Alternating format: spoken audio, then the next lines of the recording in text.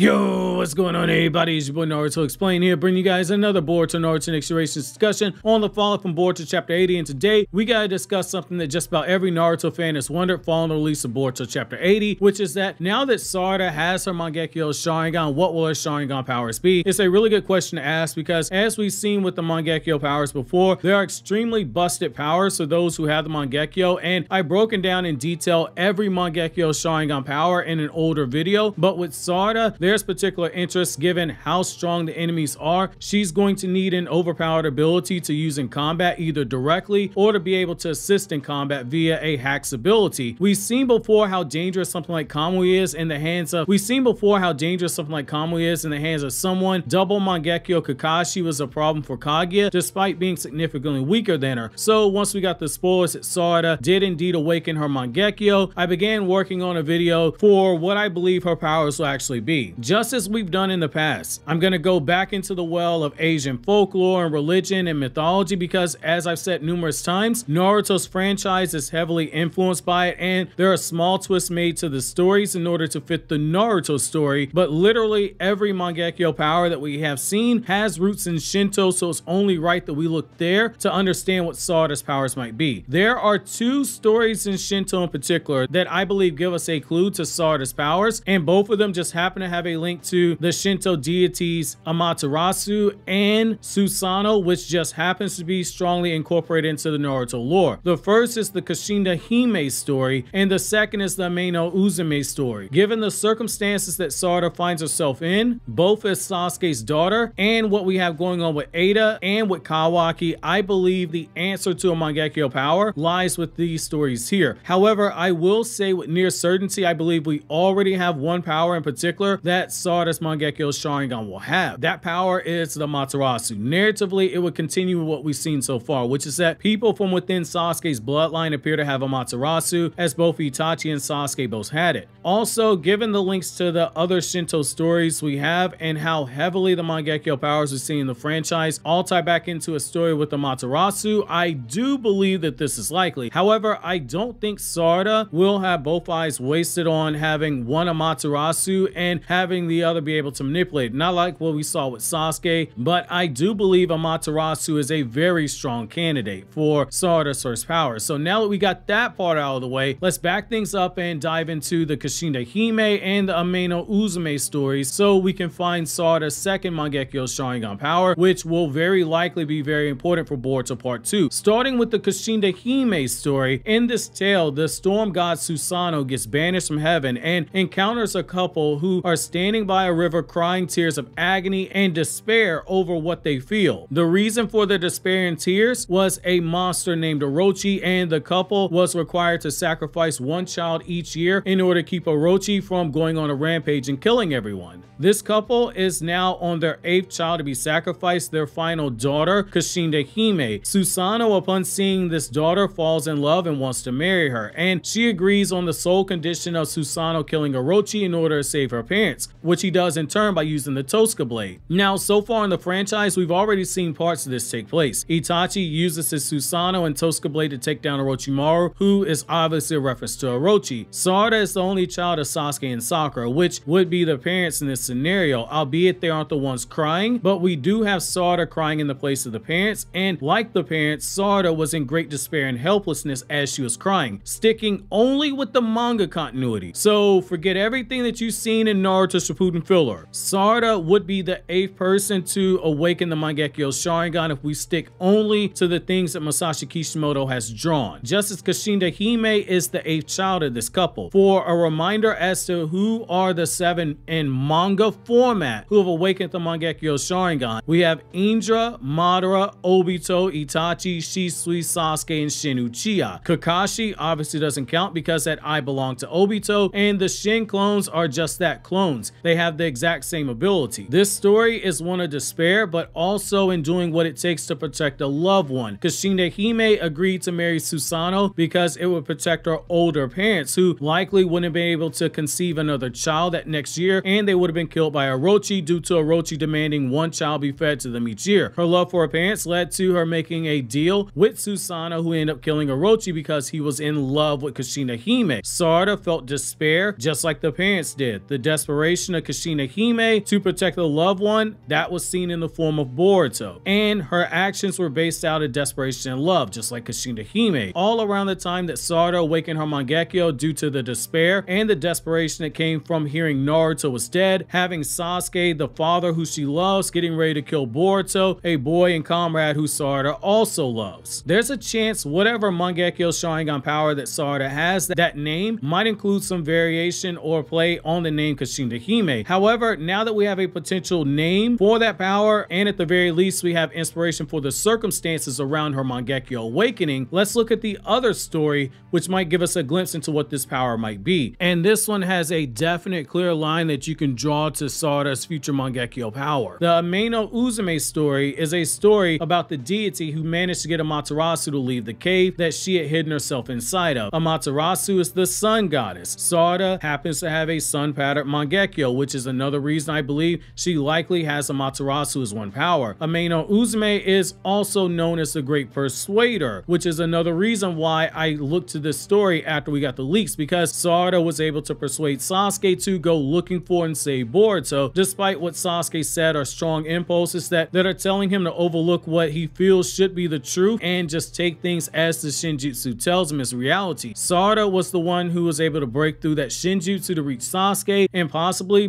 persuading someone the same way that Ameno Uzume has impossibly persuaded people in the past. In the story, Ameno Uzume is best known for when Amaterasu locks herself in a cave, she strips off her clothes and she begins to start dancing and she has a mirror and these beautiful jewels outside the cave in order to lure out Amaterasu, which does eventually lead to her leaving the cave and she's captivated by the reflection in the mirror that is hers and the beauty of the jewel itself. The gods who help her restrain Amaterasu when she leaves the cave are Ameno Koyane no Mikoto and Ameno Futodama no Mikoto. The first is a god who guards the divine mirror of Amaterasu and the divination ritual which has six different functions. To establish the will of God, ask for information from God, animate living things or drain their energy, kill enemies, predict outcomes, and manipulate the weather. Now parts of this should stand out because Ada is someone who is obsessed with love but also vanity. One of the first things we see her do is looking into a mirror, she brushes her teeth. And in Konoha, she's trying on clothes, things that are tied to appearances. Some of the divine functions are tied to gods and we have Shinjutsu and Boruto which are the powers of the Otsutsuki god Shibai Otsutsuki. So taking out asking God for information, carrying out God's will, or asking God to kill enemies, we have to look at the other things to stand out here. The predicting the outcomes of events can basically be traced back to the Sharingan Aya insight and its precognitive powers to predict movements and predict the hand seals someone's going to weave. So we can take that off the table here, which leaves us with two powers. The first power is the power to drain or animate living beings. That stands out. That will be a very overpowered Mangekyo ability, one that is just as unblockable as the Kamui. The, the power to drain life from living objects in the world of Naruto would basically be the power to drain chakra, only this would be via the dojutsu itself. We've seen this before with the Preta Path, but this would be something done purely using a dojutsu that does not require touch. Only something like sight, like Kamui, is something that can truly turn the tables in battle. The ability to manipulate weather is also another interesting thing because the weakness of Karma is that it cannot absorb chakra-based attacks that start out as natural resources, i.e. fire release that uses real fire that naturally exists, or water release that uses water that already exists that was infused with chakra, or lightning release that is already imbued with natural existing lightning. If Sarada is able to naturally create storms to produce lightning, or wind storms to add to her attacks, Kawaki cannot absorb those attacks. The same would causing the area to heat up high enough to start fires, which in turn can be amped up by her ninjutsu, which again cannot be absorbed by Karma. Now Kawaki could shrink it, but its Karma would be taken off the table. The deity also guarding the mirror of Amaterasu, the divine mirror that comes from Ameno Uzume, might also be a potential power because a mirror literally reflects. We just had Momoshiki say that the Shinjutsu cannot be reversed, but if Sarada's Mangekyo Sharingan is able to reflect something chakra related, it might undo the effects of Shinjutsu on those who are affected by it. I don't think that the Futo Dama portion will have anything to do with her power because that's a god associated with gifts and divination, but the Ameno Koyane already covers the divination portion. I do believe Sarada's other power might come from one of these because